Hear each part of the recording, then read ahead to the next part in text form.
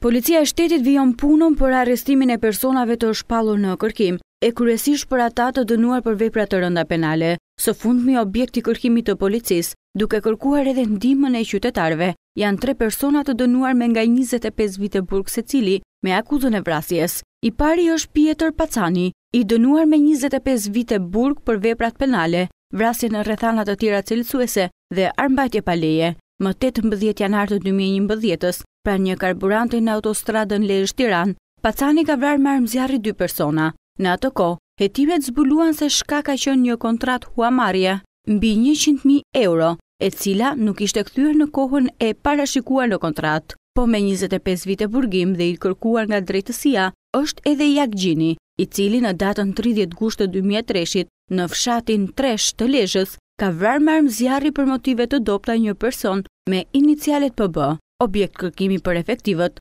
është edhe Besmir Xhepexhia, i cili më njëzet e dy korrik të vitit dy mijë, për motive të dobëta ka vrarë me armë zjarri dy vëllezër dhe ka plagosur rëndë duke i këputur krahun e djathtë një tjetër personi.